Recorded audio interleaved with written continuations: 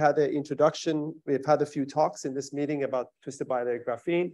So just very quickly, let me tell you, we are taking talking about two layers of graphene twisted, stacked on top of one another.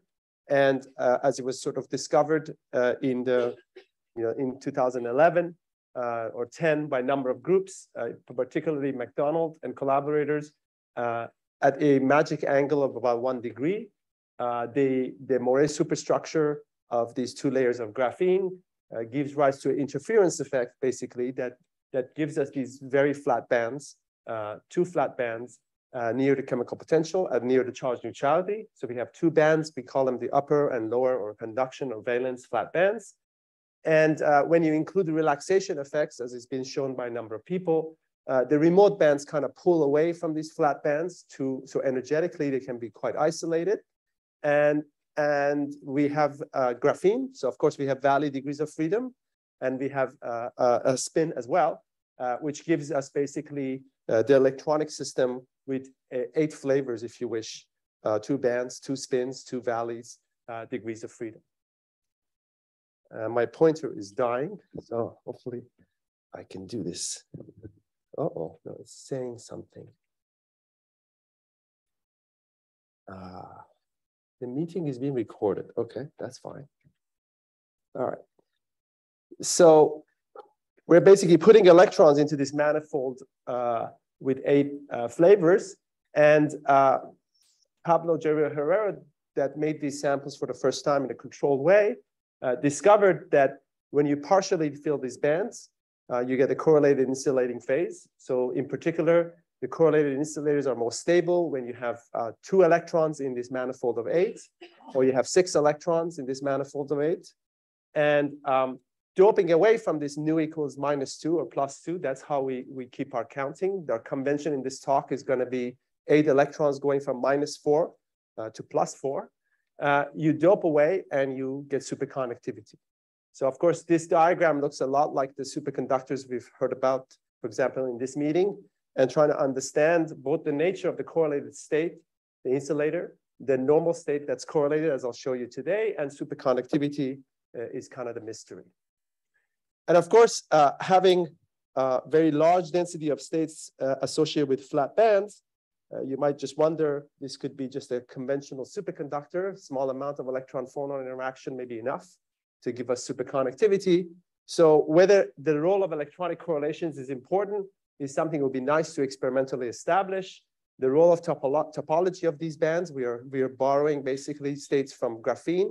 Uh, graphene has this uh, Berry curvature this Berry phase uh, associated with the Dirac point and what that does to the band structure and the nature of pairing, what kind of pairing interaction can we get are among the key questions. So today I'm gonna tell you how we use the scanning tunneling microscope uh, to look at this system.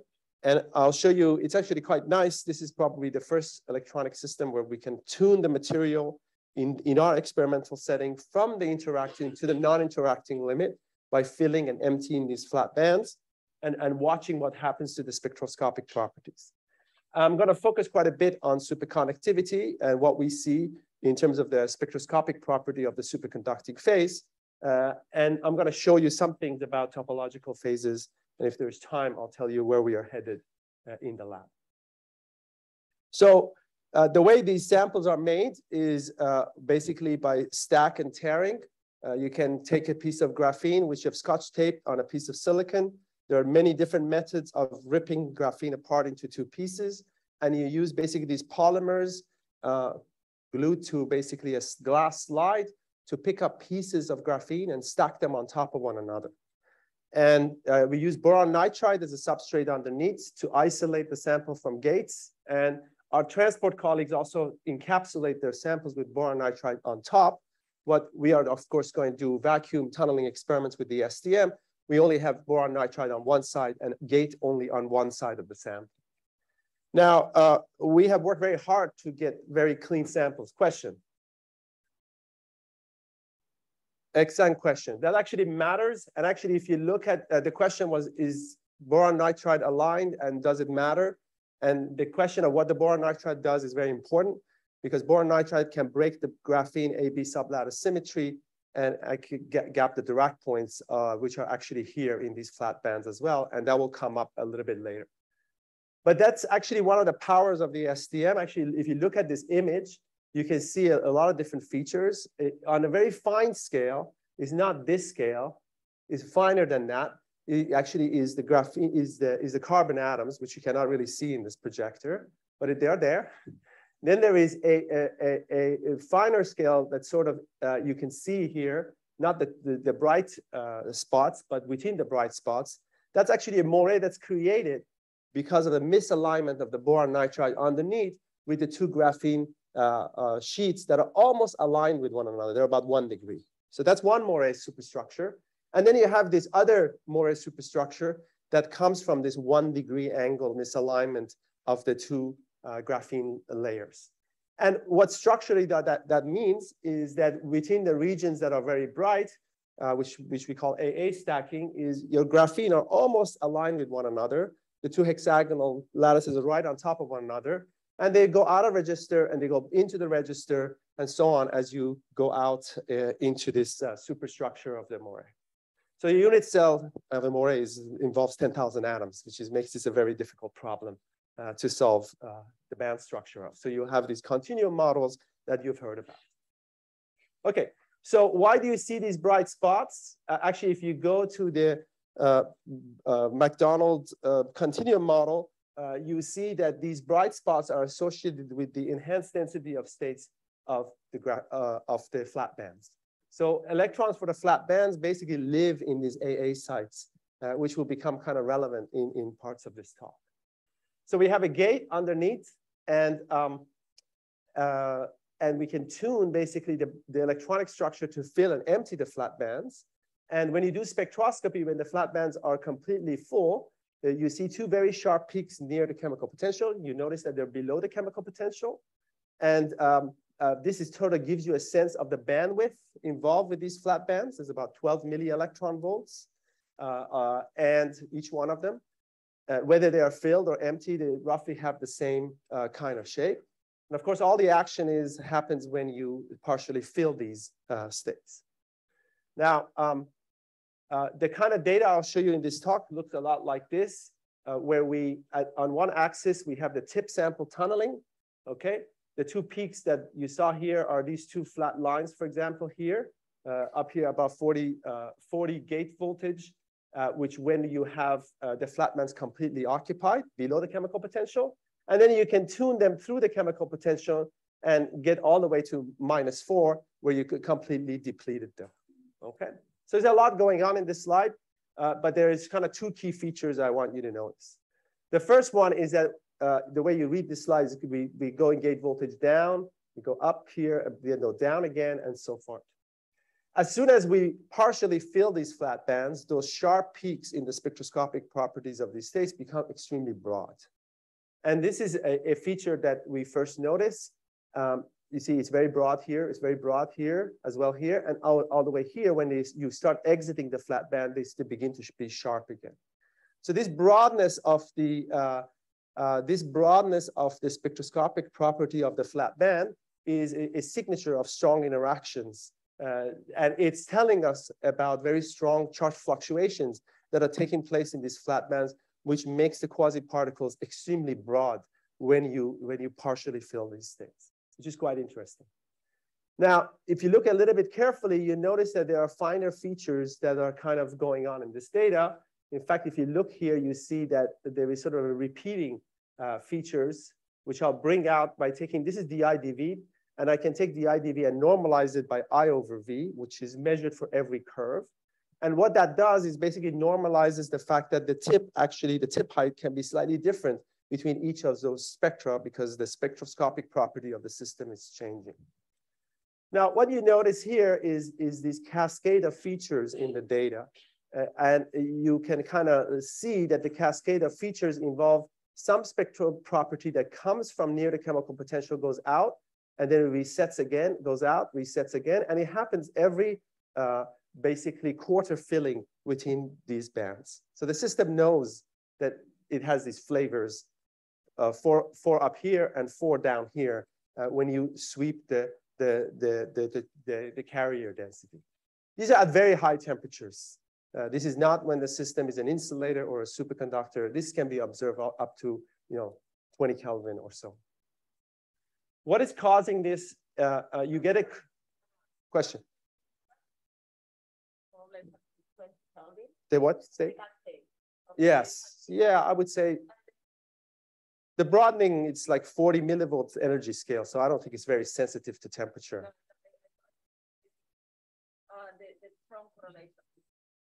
Uh, the broadening of the density of state, the first feature that you have mentioned. The broadening is, it, it, I think it, it goes on to like 10, 20 Kelvin. The question was the, what, the, what to what temperature does the broadening can be observed. I would say 10, 20 Kelvin easy. So more or less like the uh, cascade or Yeah. are independent. You, you, uh, do you observe a change in the density of state uh, independently of the cascade? I would say we haven't measured it carefully enough, but my, my intuition is, you know, about 20 Kelvin or so, all these features begin to show up together. Now, one thing uh, you notice is that uh, this, this data is a little bit different. This is actually data taken not with the tip over AA sites, is the, the tip over the AB sites. And when you put the tip over the AB sites, you become very sensitive to not the flat bands, but the remote bands. That's where they have the largest density of state. And you see out here at higher energies, which is where the remote bands are, these are the remote bands, you see that the edge of the remote band shows these sort of uh, cascades of features uh, sort of in line with what you saw in the last uh, slides. If I just simply interpret the edge of this band as some single particle state for tunneling into that edge of that band, plus what the chemical potential of the system is doing, what we find is that the chemical potential shows this resetting behavior every quarter filling uh, in the data. Actually, direct measurements of the chemical potential was done also within SET by Shahal Ilani's group. And they also observe, actually, it's eerily the same. Uh, the, the, numbers even match between these two very different experiments uh, uh, done on the same system, which is nice. So this resetting is something that uh, uh, one can try to have different theories of. We have a very simple idea of how to understand this resetting. And our, our simple idea is that, well, you know, if you look at the STM images, they kind of look like electrons are living on the AA sites. It kind of looks like a quantum dot. And you can just think about the quantum dot. Of course, there's hopping between the dots. I don't know how to solve that problem. So let's ignore the hopping. We think it's very small because the flat bands are very flat. And essentially just think about uh, a, a, you know, a number of quantum dots with, with basically eight flavors. And, uh, and all you're doing is you're asking what's the, what's the energetics of adding and removing electrons to these dots. And if you go through that exercise, you basically have, of course, the energy of the levels. If you just say there are two levels, E and minus E not. And then there is an on-site Coulomb repulsion, U, within each dot. Of course, you can make this more model more sophisticated. Uh, but with this very simple model, you can sort of convince yourself that there will be, of course, jumps in the chemical potential every time you go through filling each of the flavors. And, uh, and these jumps in the chemical potential and the associated addition and removal spectral features that you see in a calculation of this simple model is one which tells us roughly the size of the Coulomb repulsion in this system. Uh, these features can be interpreted kind of like an addition removal spectra as you go through each of these filling states uh, within this simple you know, infinite U uh, Hubbard model. What's interesting about this is that this exercise tells you that the energy of the interaction is about 23 milli electron volts. So the size of the Coulomb repulsion you get from this simple model is larger than the bandwidth of, of, of the system, okay, by, by a lot, okay? And uh, I, of course, you know, you need a theory of these features, uh, and that still remains to be fully done. And uh, one idea that's uh, being explored right now in trying to understand our kind of data uh, and put it together with, of course, the fact that the system is conducting and, and showing extended electronic state is to think about the fact that maybe uh, you can think of the system as having two flavors of electrons, localized electrons on the AA sites and electrons that are conducting on the, on the AB side, which are, have a band structure very similar to just bilayer graphene, uh, uh, which is you know, ignoring twisting. And this is a work of Andrei Bernevig uh, uh, and Song, uh, which are building this heavy fermion model uh, of, of the system, which is, I think, quite interesting as well, to try to see whether you can recover some of the spectroscopic feature from such a model. Okay, so just uh, before I get to superconductivity, let me quickly tell you that, of course, these bands are topological. And, and the way this was first uh, exhibited uh, experimentally uh, came to light was when uh, people made samples that accidentally were aligned with boron nitride. And when you align these uh, graphene samples with boron nitride, the Dirac points, which are very hard to see in this band structure, if you zoom into them, basically they get gapped out by the presence of the breaking of the AB symmetry. And it was the discovery of uh, anomalous Hall effect and quantized anomalous Hall effect as well in samples in one, in one particular filling of, of, nu, uh, of three elect of, of uh, seven electrons in the system uh, showing uh, uh, basically Chern number of one. What we discovered was that even if the samples are not aligned with boron nitride, and if you cool the samples down uh, to millikelvins, you, we find that at, at some values in presence of small fields, the system exhibit these gaps uh, that come in the spectra and it looks like this. So this is the same kind of spectra I've been showing you before. The colors represents the, the DIDV, the tunneling density of state. And this dark blue region here is the presence of a gap that opens at the chemical potential. Uh, and this turns on at some particular value of density. You see it's not mu equals mono, mono 2. Is at some value of magnetic field. And what we find is these gaps can basically be moved around. They, they move around as you change the value of the magnetic field in the density and magnetic field uh, uh, you know, knobs that you can turn. And essentially you can show uh, that this is a signature of a formation of a Chern insulating state. And the Chern insulating state with a quantized Hall conductance, of course, has a gap in the bulk. But this quantized Hall conductance, uh, uh, uh, the, the quantized Hall state and the gap basically are such that if you change the density and the magnetic field, uh, you have to, you, you basically are changing where the gap occurs in density. And following essentially how this gap moves as a function of magnetic field uh, in flux per unit cell, as, and as a function of the filling factor, you can actually back out the Chern number associated with those gaps. So essentially what this plot is, is at every, uh, at, every density, you find the gap at every magnetic field and you change the field and follow where the gap is. And from the, this is called the Streda formula. And from the slope of this line, uh, you can basically extract the Chern number associated with this state.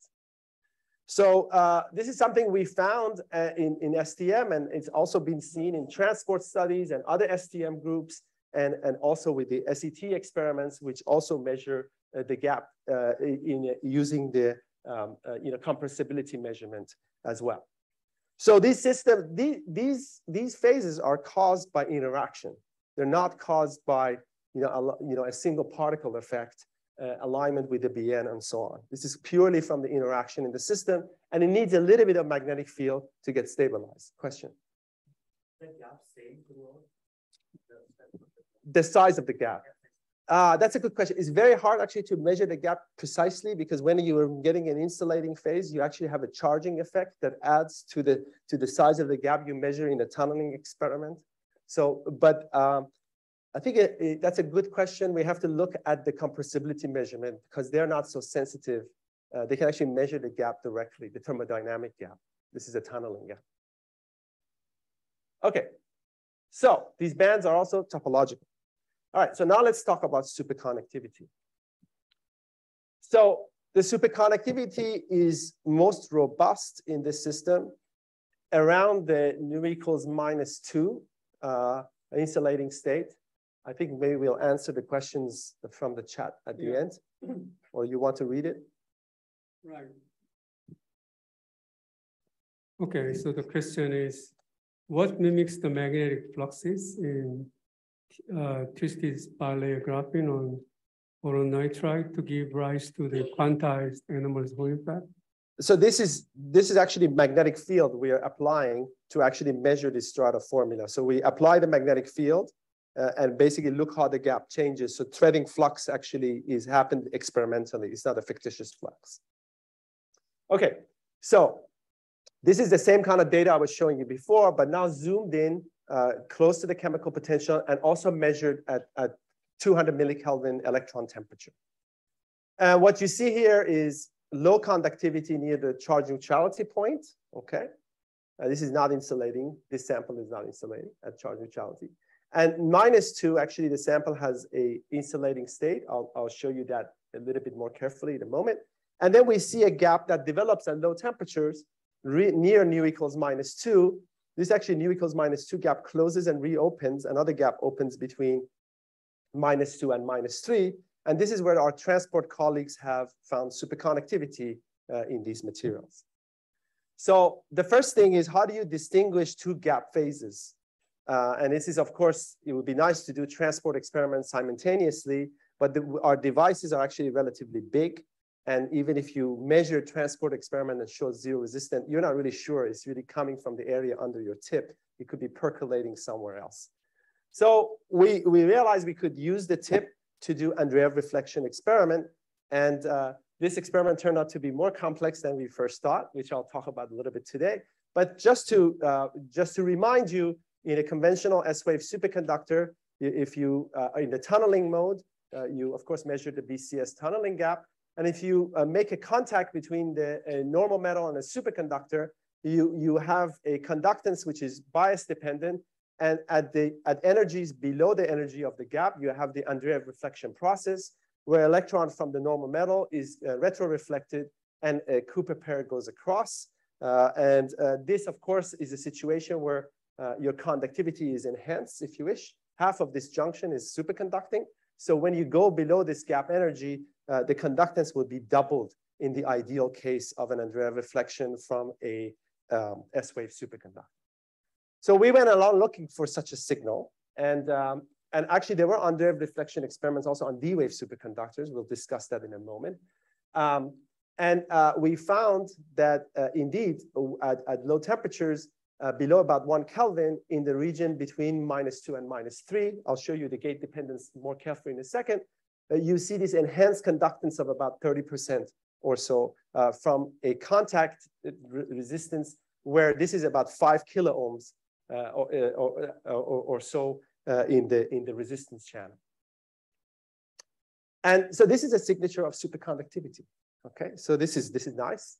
So we can put this side by side so we can take an area of the sample, perform tunneling spectroscopy, find uh, the gaps, correlated insulator gap, what looks like a superconducting gap. And then we can say goodbye to this area because we're going to crash the tip into it because it is no longer recoverable for STM measurement and uh, record this uh, point contact spectroscopy. And what you notice here is uh, purple is low conductance and, and, and orange is high conductance you notice that you can, it's very nice. You can see, oh, that's the, that's the nu equals minus four. This is the ordinary insulator. This sample is a sort of semi-metallic at charge neutrality.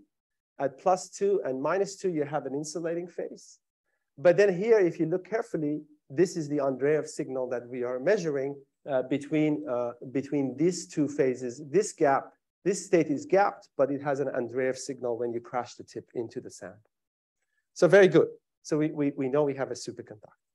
So now let's look at the spectroscopic property of the superconductor. So uh, this is actually a nice plot. Uh, this actually shows a very important feature, which is the nu equals minus two insulating gap closes before what appears to be like a superconducting gap opens, okay? This is actually very different than what we see in the cuprates, for example. Um, so here uh, are representative from two different devices. When you're in the middle of the, the largest superconducting region of the sample, and you see that the tunneling spectra has this coherence peak. It has this very V-shaped looking curve. Sometimes it hits zero and sometimes it doesn't. This is actually very characteristic of things we have seen in the cuprates. Uh, we see this you know, V-shaped gap and it not always touches zero. And it doesn't look like your uh, ordinary one Kelvin aluminum superconductor, uh, which we can easily measure in this instrument and see the BCS density of states. So now you can start uh, playing around and try to fit this curve with you know, S wave. If you take a simple S wave, you have to broaden the data beyond uh, you know, what's reasonable to fit such a, such spectra, like you know, two Kelvin or something, which is not reasonable. If you just assume a nodal superconductor with very you know, small broadening, you, you can fit these experimental results. Okay, so this is all very good. Uh, one thing I should say is that the two delta over KTC, if you, uh, if you interpret this as a superconducting gap, is something like 25, okay? Now, comes the interesting parts. We take the sample, we warm it up above one Kelvin. I showed you that the Andreev signal went away. But if I look at the tunneling measurement with the tip far away, it, it still shows a pseudo gap. Okay.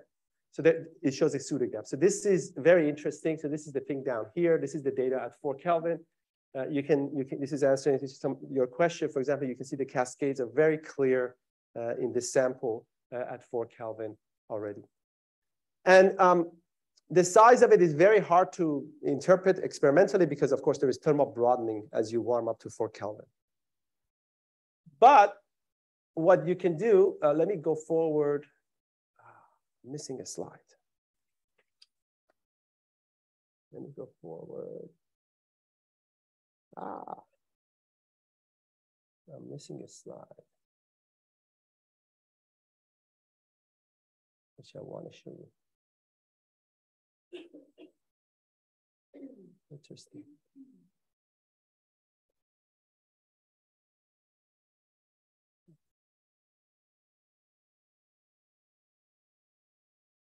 Sorry. It has disappeared. Okay, uh, maybe I get it up during the question session. Uh, oh, here it is.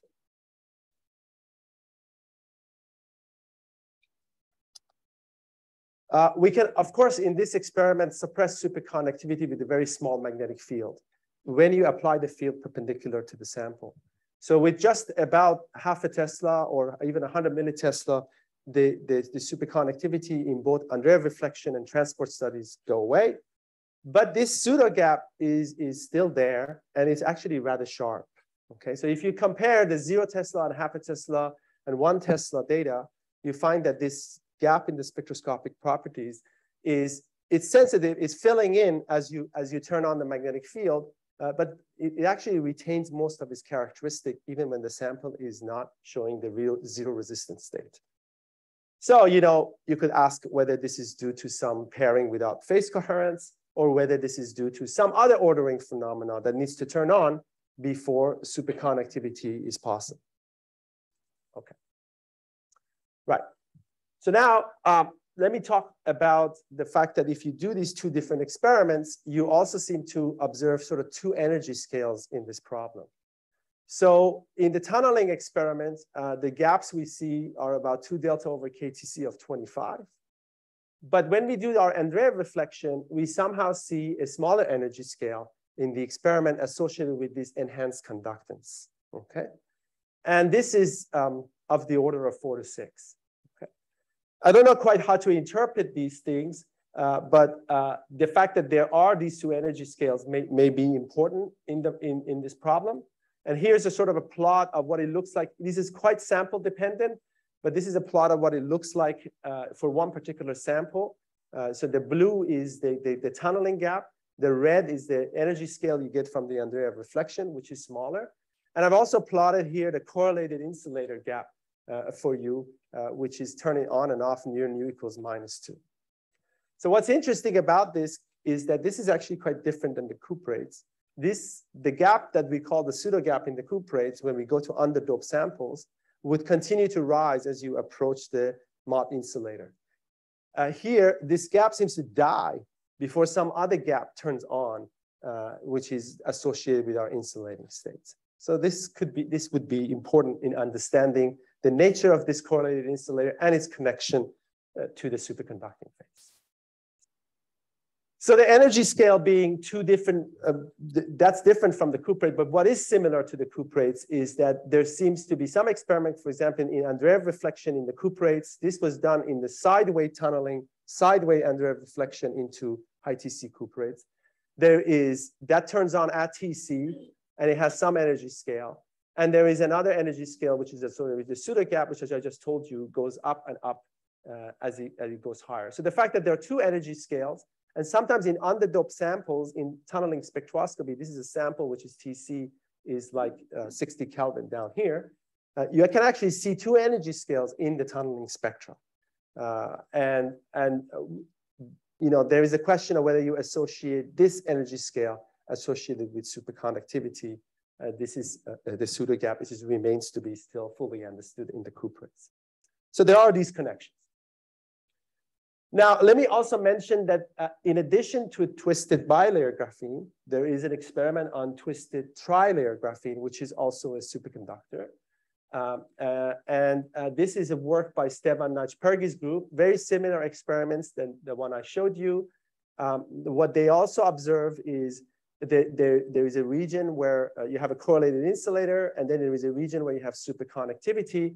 Uh, curiously, in the region that think they have superconductivity, uh, there is either a U-shaped curve or a V-shaped curve uh, in, their, in their spectra. This is a paper that's online. But I think now I think they have repeated this experiment also doing Andreev reflection, just like I showed you. And I think it's only in the, in the V-shaped area that they see an Andreev signal. And we have to look at that very carefully. Okay, so uh, since this work has been published, there's been a couple of people who've been interested in trying to understanding understand our experiment. I think maybe you heard from Leonid Glazman, who was here, uh, about uh, uh you know Andreev reflection in a nodal superconductor. And there is also uh, previous to that, there is work by Senthil, which is online analyzing kind of all the different evidence from all different experiments concerning the pairing symmetry question in, in the bilayer graphene. So one thing that uh, we kind of we kind of didn't think about was uh, in detail about how would you how does the how does the process of Andreev reflection works in a nodal superconductor. So um, if you think about a nodal superconductor, of course the the phase of the order parameter is changing as you as you go around in all directions. And if you have a process by which you think about not not tunneling but Andreev reflecting from a point in the system from a single point and uh, compute basically the Andreev reflection signal, uh, uh, adding up all the phases from all the direction. Of course, you end up at, at zero voltage, you end up with actually zero Andreev reflection signal. So plus and minuses of the order parameter cancels. So it became kind of a mystery to try to sort out with Senthil and Leonid that, so if you compute uh, from a point, you get this, uh, the signal should look uh, like this, the IDV versus V should basically go to zero. Uh, this is Senthil's calculation, and this is uh, Leonid and Felix and their uh, postdoc calculation. And you know, the, the, the, way maybe they thought about understanding our experiment is sort of like a fine tuning, adding some component. Maybe you have an S wave that's anisotropic and, you know, but the, the, the, reality of our experiment is that this V-shaped tunneling gap is very insensitive uh, to, to gate voltage, basically. So if you change the density of the sample, you still see this V-shaped curve, uh, and it doesn't change very much. Now, in Senthil's uh, calculation, they also considered the possibility uh, that you have a, a, a Andreev reflection process in which you conserve momentum. So when you and they reflect from one point, you don't think about momentum conservation. So they consider, well, maybe this experiment somehow conserves momentum. Okay, and you might ask, how would that be possible? Hold that thought for a moment. And if you if you do that calculation, you do in fact uh, expect to see a enhancement in the uh, uh low energy conductance with for the Andreev process if you conserve uh, momentum. So this got me thinking, uh, uh, me and my students thinking about what did we actually do in the lab? So this was a kind of a fun exercise. So here's what the signal is when the tip is very far away. Yeah, question?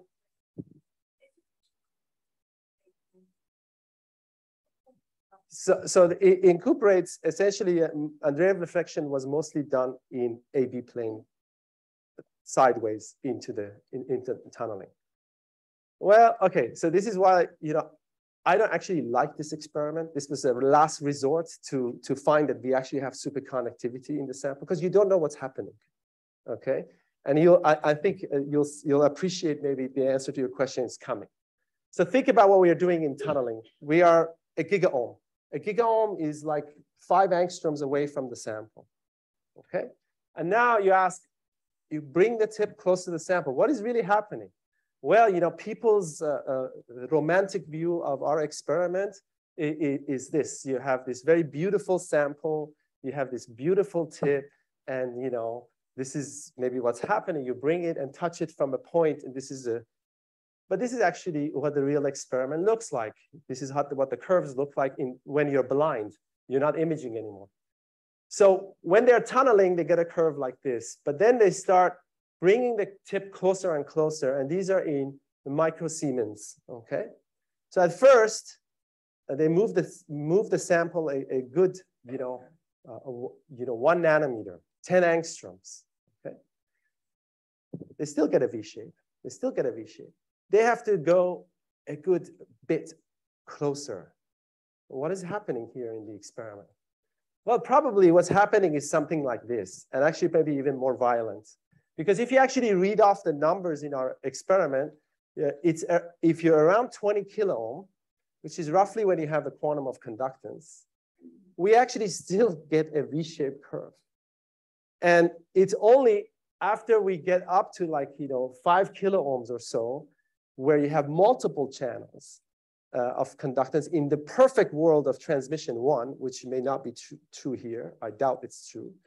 That's when you get this very enhanced conductivity Andreev signal. And now it's not completely clear what's happening. Maybe what we are doing is we have brought the tip so close that we are actually sideways conducting. Maybe we are basically doing Andreev reflection in the side of the sample effectively. Now, there are a lot of questions that are not resolved. Is the tip uh, doing that, or is the tip, uh, in this case, is actually a potential impurity uh, for the D-wave superconductor, creating an Andreev state. So we still need to work all of this out, but I am encouraged by, by this data because after their theory, I went to the lab and they said, let's look at this curve. This looks more like their theory in terms of where the regime of the experiment would be a point contact. And maybe actually this is all uh, consistent. Okay, I think I'm running out of time. Five minutes? Uh, a little more time. Okay, well, I'm almost done anyway. So let me show you another curious experiment. The question was asked is, does the alignment with boron nitride matter? It matters a lot. So I showed you experiments that people have done where they see uh, this uh, uh, Chern insulator um, um, in actually uh, kind of almost quantum Hall state. Uh, we also see that state, actually. Here it is. Um, this is a sample which actually has perfect commensuration in this region between the boron nitride and the, and the, uh, the bilayer graphene, such that the, the moires are just, they line up and make this very beautiful uh, uh, structure on the, on the AA sites. Uh, this is the same kind of data again. Uh, this is spectroscopy. You notice there is this giant gap. And now we can do this point contact measurement and we can say, oh, look, this is an insulator okay, at charge neutrality. And that's what you expect to see, open up gap at the Dirac points. Uh, there is a, there seems to be somewhat an insulator here around nu equals plus two in this sample. And this is the nu equals uh, plus three insulator. Actually, if you follow this with a magnetic field, you can measure its Chern number and its Chern number is one as it was discovered uh, with the transport studies. But look down here. Uh, this is at millikelvins there is still a Van Hove singularity uh, associated with the, with the flat bands. This sample shows nothing. It shows no pseudo gap physics. It shows no superconductivity. Okay. And this is consistent with the anecdotal evidence from transport colleagues, which when they get an aligned sample, they haven't seen a superconductor yet. But this is actually a sample where you can go back and forth and say, oh, this is actually aligned. We really know it's aligned. It has a transport signature of nu equals plus three, and it, it, uh, it is not superconducting. So uh, what is the conclusion of this? The conclusion must be that maybe the pseudo gap phase, you know, first of all, is very sensitive to this breaking of symmetry, this superconductivity, C2T symmetry. And it looks like the pseudo gap phase is also. Uh, it just uh, disappears. There's a question there. Okay. exactly. Good. So I'm pretty much done. So, uh, um, well, I can actually, if I have a moment, then I can speculate about what we're working on. Uh, so let me just review this, uh, the V-shaped gap, the very large gap to TC ratio. Uh, there is also a very curious effect which is that if you if you integrate this Andreev signal and and uh, watch this Andreev signal as a function of temperature, how it vanishes. I showed you that it goes away at at TC. It vanishes linearly, which is very strange. And this strange behavior has also been observed in strontium ruthenate and, uh, and actually some uh, heavy fermion superconductors previously in Andreev reflection experiments as well. Uh, there was some interpretation associated with that, which I won't get into here, uh, but, um, but it had to do with nodal superconductivity. So let me tell you what we are working on now. So looking ahead, uh, we want to understand the nature of the insulating state. And how are we gonna how are we gonna do that?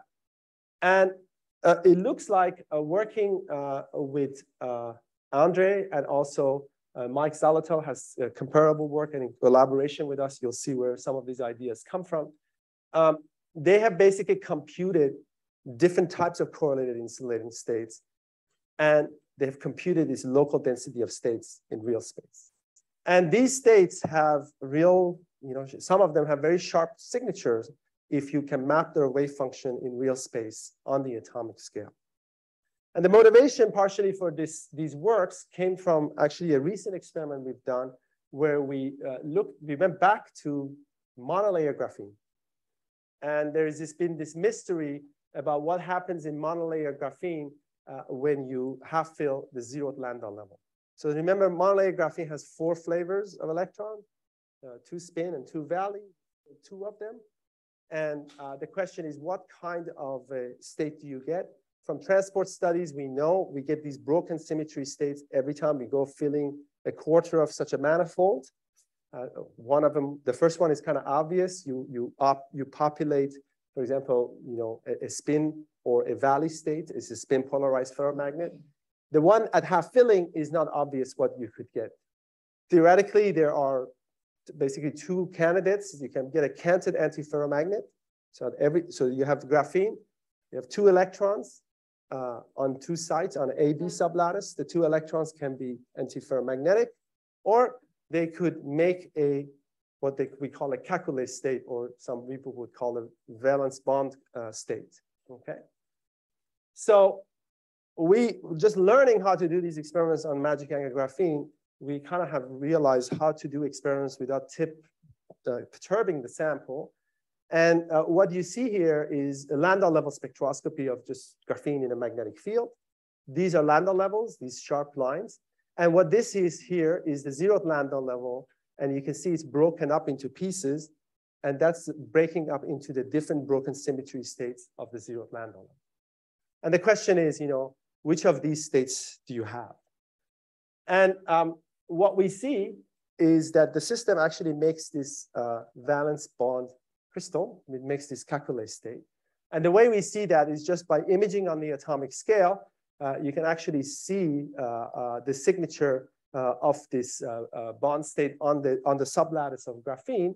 And essentially from this experiment, we kind of realized that from this kind of data, the Fourier transform of this kind of data, the real and imaginary part of this, we can actually get a lot of information about the nature of valley polarization in the sample, the nature of valley coherence in the sample. So when you make different kinds of coherent states, uh, when you have the, the phase of the wave function being different between these two valleys, actually the local density of state is different. So let me just put that up uh, as, as something that is a technique we have developed. And uh, it has a lot of applications. You can actually watch these states form as you, as you turn on the magnetic field. And I see the chairman is getting nervous here. And uh, it has a lot of application to this problem. Uh, to be able to tease out uh, basically what's the nature of the states by actually looking at the wave function and their Fourier analysis. Uh, and there's a lot of information there. The problem is, as we start working on this, we realize we need data which is a little bit ridiculous. You need data which has atomic resolution of maybe tens of Moiré sites where you can actually get enough information to rule out different states from one another. So that's, that's a kind of very hard data to get because you need absolutely pristine samples and be able to get really, really high resolution uh, uh, on a very large scale. So let me stop there and just put up my summary slide and see if there are any questions. Thank you. Thank you very much. So it's open to questions. First, second, third. In, in, in the transport measurement, they use the HBN encapsulated samples, right? Where there's a There's HBN HBN on both sides. both sides. So does it matter in the tunneling experiment, you have HBN on one side. So It does that- probably matters. Yeah. Yeah, it's very sensitive. So I think we've heard experiments from transport colleagues where they think one of the BN is aligned, but the other one is not. I mean, so I think our experiment is simpler, just vacuum. thanks. So maybe you said that I miss it about the pseudo gap of this unconventional superconducting behavior. So you, you show that with the magnetic field, the pseudo gap survives to very large field. But what does it do in temperature? Does it Same. close at Tc? No, it survives above Tc. Same, yeah. Well, And what is the, the critical, the T star? So where does it close? it's uh, maybe six Kelvin or something, five Six. Kelvin, five or six Five Kelvin. Kelvin. Yeah. Okay, so it's really like in a sense cuprates in Yeah. the sense. Okay. Yeah. Thanks. All right.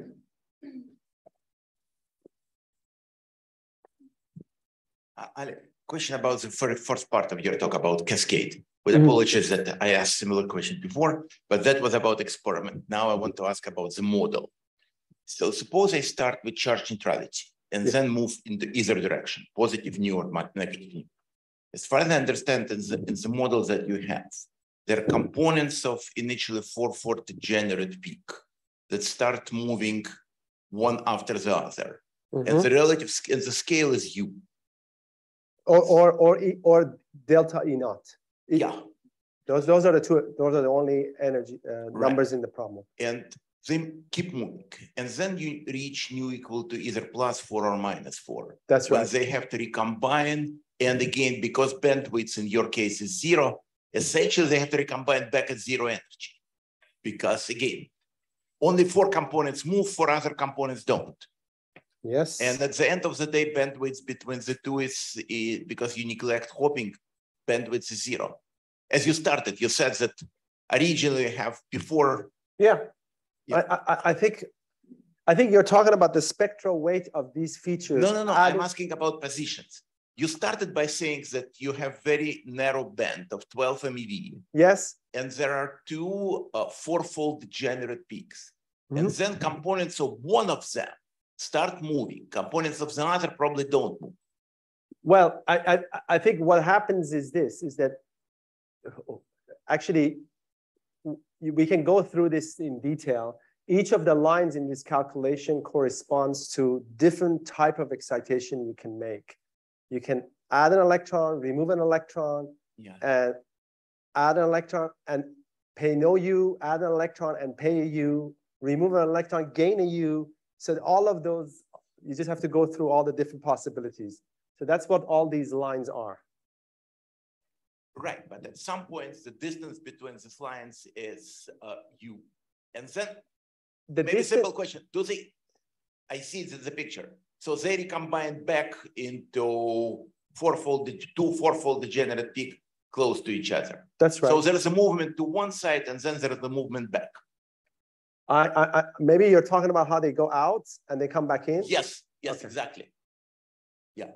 Uh, and then again, the question about experiment. Do we see anything like this in experiments that moves, move one direction and then comes back? Um, it's all a blur. To just to be completely honest, right?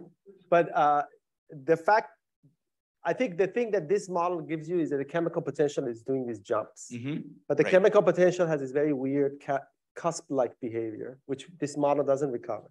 Now, Biao did an exact diagonalization with like some number of sites with a little bit of T. And he, we could, with mother's loving eye, we could just say, oh, it does kind of look like a feature that's not jumping, but it's, but it's, you know, kind of smoothly changing and so on. I haven't looked at the detail, but um, so some of the features are resembling one. For example, the, the plus and minus features at, at this point, they may go out a little bit further. I'm not sure, but also, um, yeah, I, I think it's a, it's, it's hard to tell. Yeah. Okay, I think because of the time. You think so? Okay. I'm gonna. put this- uh, Is the closest proximity effect.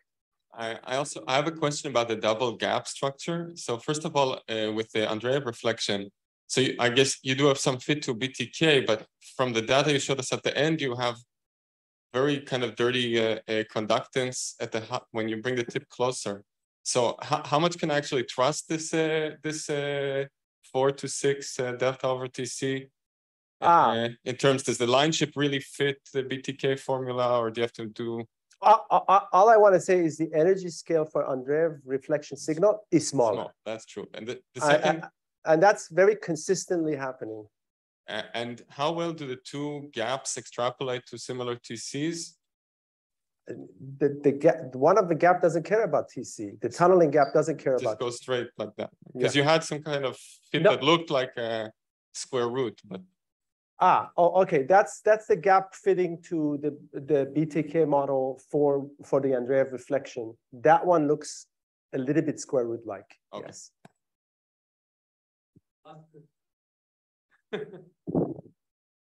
Uh, I want to ask about the last part of your talk where you mentioned the Kekulé state disappearing. Did you look into that region where it disappears and did you see any changes? Because that's basically quantum critical point, right? Disappearing as a function of density. Um, I don't, it was too quick for me to Ah, see. That's why I'm asking. yeah. So there are two transitions that we see. One is as a function of field. So as you, the Kekulé state actually appears as you turn on the field above a critical point.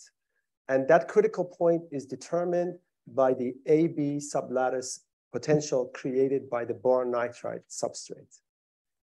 Uh, the, it- the- system either would like to make a valley polarized state or it can make a Kekulé state. When that potential is weak, it will say, ah, I'll make a, I'll make a Kekulé and you can tilt the balance with the magnetic field. So we haven't studied that critical point very carefully, but, but there is a very nice critical point, and we have checked as we twist the boron nitride angle relative to graphene, the point, this point actually shifts in magnetic field very precisely. Yeah, it is an interesting thing to think about, but we haven't studied carefully what happens at that transition. Thank you.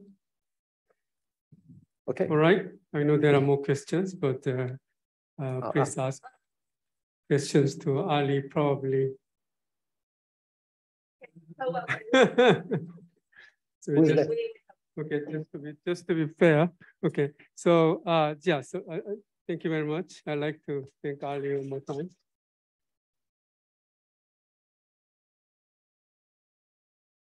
The next question, next speaker is Francisco Guinea.